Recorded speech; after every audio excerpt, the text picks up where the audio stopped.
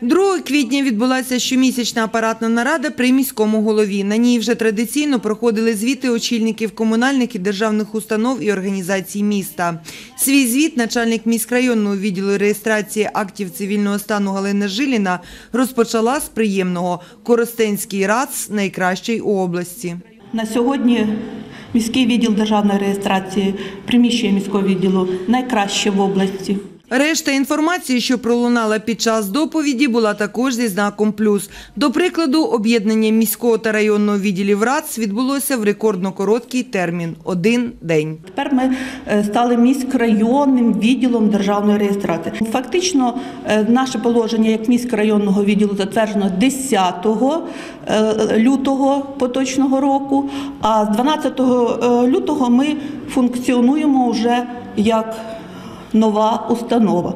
Фактично, ми не працювали один день 12 лютого, коли отримували нові печатки. До того ж, саме Коростенський відділ реєстрації актів цивільного стану бере участь у ряді пілотних проєктів, що запроваджені на території України. Зокрема, це реєстрація актів цивільного стану у пологовому будинку, шлюб за 24 години тощо. Загалом працівники відділу роблять усе можливе, аби послуги з реєстрації актів цивільного стану були якісними і доступними.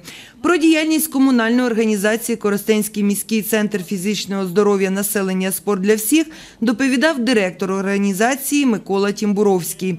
Він зазначив, що безумовним позитивом є широке залучення молоді і дорослого населення до активного здорового способу життя. Головною сучасною політикою у сфері фізичної культури та спорту є концепція розподілу на спорт вищих досягнень та на спорт для всіх. Показником для спорту вищих досягнень є участь в чемпіонатах Європи, чемпіонатах світу в Олімпійських іграх. Для масового спорту, спорту для всіх, основне завдання це збереження здоров'я населення та створення належних умов для занять фізичною культурою та спортом. Міський центр фізичного здоров'я населення спорт для всіх створює сприятливі умови для громадян для заняття фізичною культурою і спортом за місцем проживання в спортивних клубах та в місцях масового відпочинку населення. Спорт залучає широкі версти. Центр залучає широкі версти населення до регулярних оздоровчих занять фізичною культурою та спортом. Формує у громадян потребу рухливої активності та створює умови для їх задоволення. На сьогодні на базі семи територіальних клубів організації представлений широкий спектр спортивних секцій і творчих гуртків. Майже півтори тисячі дітей та дорослих знайшли для себе заняття до душі. Вихованці спортивних секцій є переможцями багатьох турнірів, в тому числі загальноукраїнського і світового масштабу. Наш міський центр фізичного здоров'я населення є найкращим у Житомирській області.